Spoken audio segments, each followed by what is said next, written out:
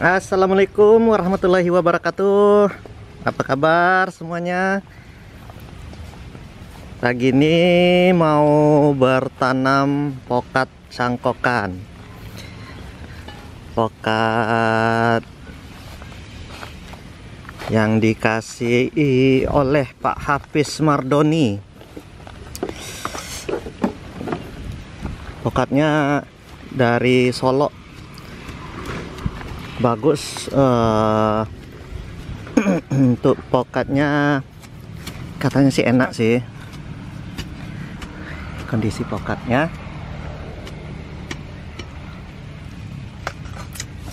ini coba kita tanam. Kita buat dulu lubangnya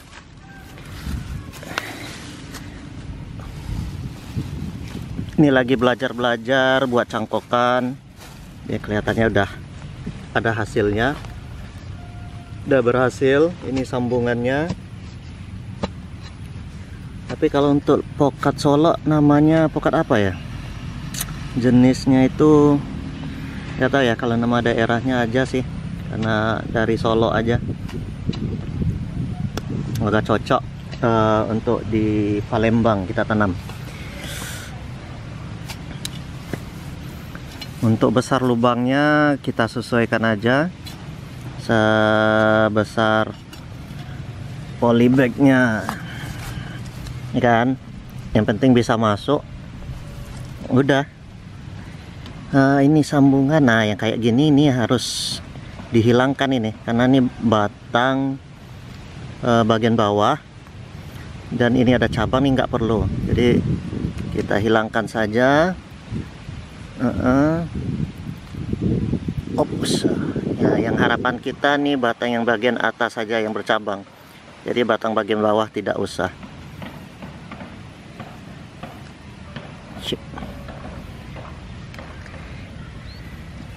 Untuk kedalaman lubang nah, paling setinggi inilah ya. Sedalam polybag ini 15 15 cm ya lebih lah. Yang penting dah masuk aja sampai tanahnya masuk. Nanti baru kita timbun. Dan untuk membuka polybagnya juga hati-hati jangan dibuka langsung ya. Tapi kita masukkan dulu ke dalam lubang. Nanti kita robek polybagnya pelan-pelan karena tanahnya jangan sampai lepas dari akarnya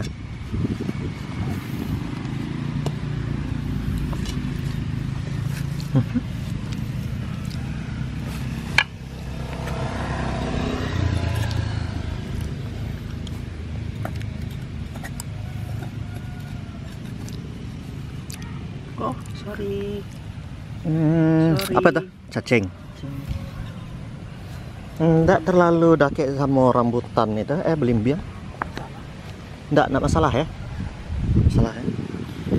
Ini mungkin terlalu dekat eh, dari belimbing, guys. Ini belimbing. Berapa ya? Enggak masalah sih ya.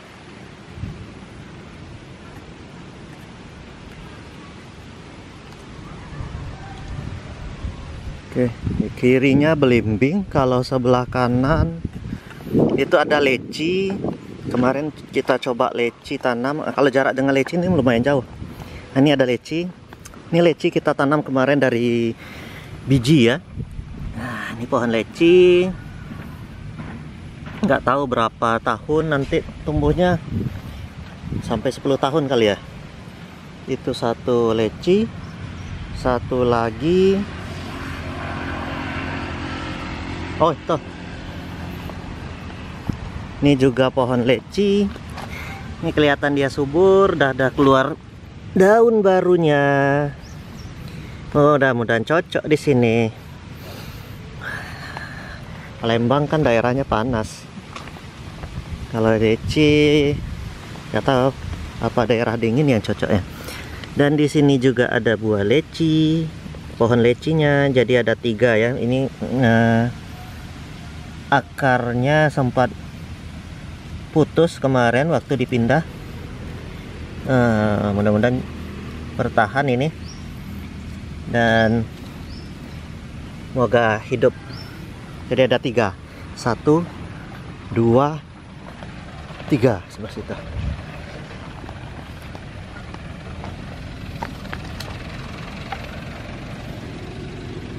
Ini maunya di beras bersihkan rumput sekitarannya. Ya besok-besok lah. Yang penting kita udah tanam dulu aja.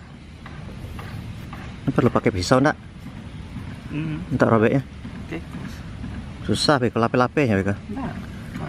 iya bagusnya pisau aja. Entahlah pisau lah. Oke nih pisaunya. Nih pisau nih pisau. Oke. Cukup ya ini lubangnya sekedar aja jadi nggak perlu besar nggak ada jangan jadi sih di dalam lubang itu Oh, beko mindahnya aduh susah. Nah, itu. Gitu aja. Ah, robek sini loh. Ya. Robek kiri kanan. Iya, awas. Ya. Yang pegang.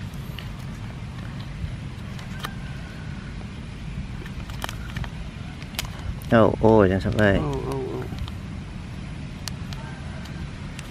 ya beginilah kalau tidak ada pengalaman uh, guys.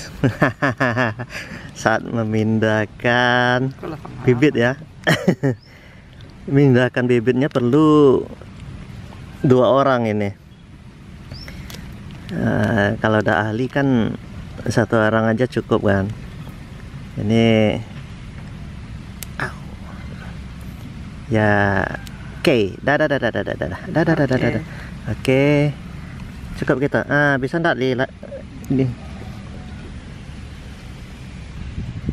Ya, Bismillahirrahmanirrahim. Ini perlu nggak saat nariknya gitu? Susah ya? Oh, pisau.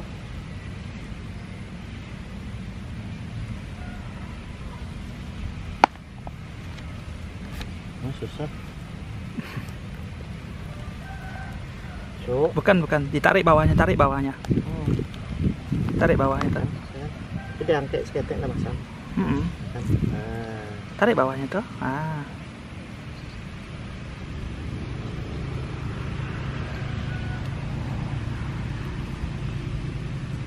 Nah, usahakan tanahnya jangan sampai lepas. Ya. Oke, karena susah.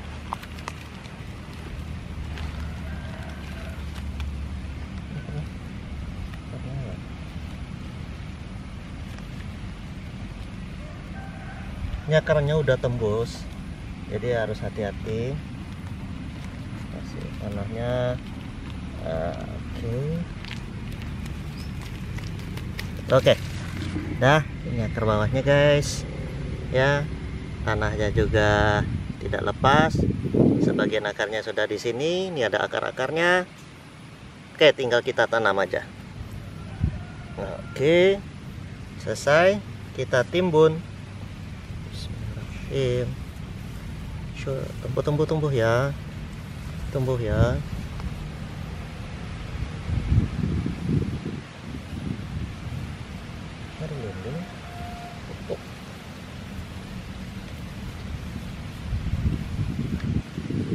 Oke, kita patati